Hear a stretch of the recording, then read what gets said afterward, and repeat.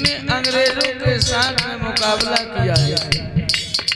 हमारे देश की महिलाएँ, जिन्होंने घूंघट में चलकर के जीवन बिताया, वो भी किसी से कम नहीं रही।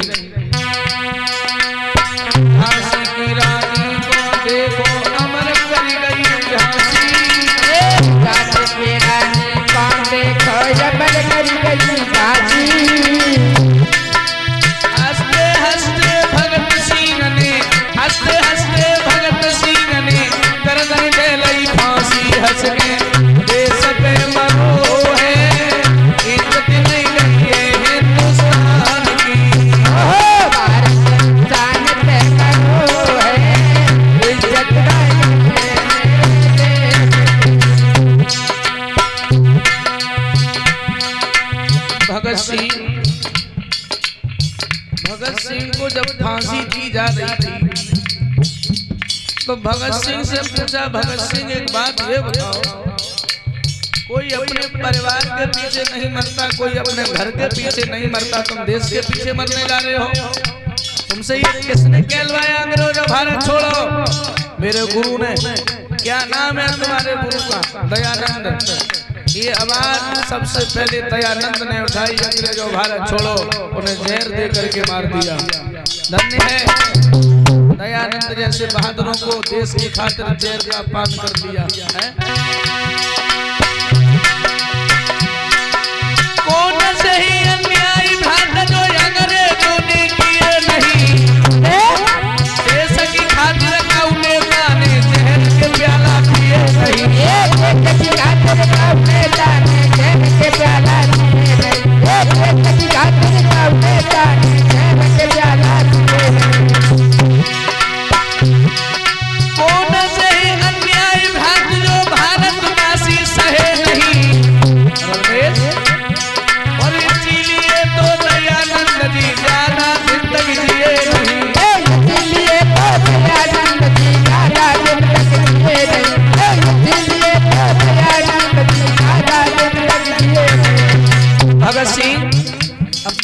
के साथ खेतों पर गए। पिताजी फ़सल बो रहे हैं तो भगत सिंह ने कहा, पिताजी फ़सल बो रहे हो क्या कर रहे हो? बोले, बेटा, मक्का का बीज हम इस खेत में डाल रहे हैं। एक बीज डालेंगे, एक दाना डालेंगे तो पचास दाने निकलेंगे। भगत सिंह बोले, पिताजी, एक दाना डालने से क्या पचास दाने निकलेंगे? बोले हाँ। तो बोले, ये तुम फ़सल को बोना बंद कर दो। हमें भोजन की ज़रूरत नहीं है। अगर एक दाना डालने से पचास दाने निकलेंगे तो ये मक्का और बाजरा की फ़सल को बोना बंद कर दो। बोले बोले क्या बोए? सुनो, क्या बोले भगत सिंह?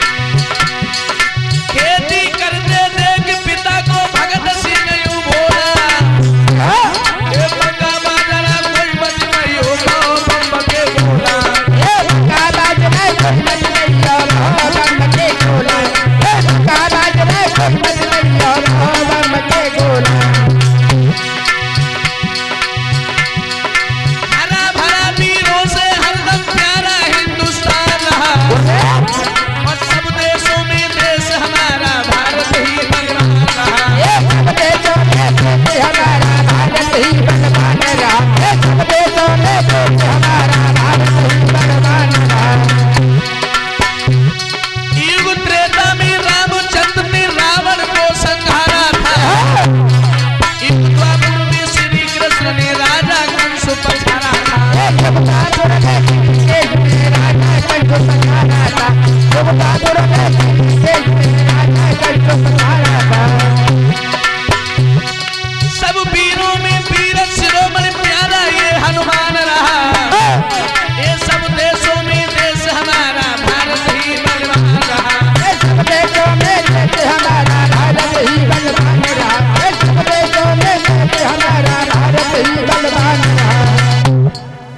हमारे देश की आज हालत क्या है?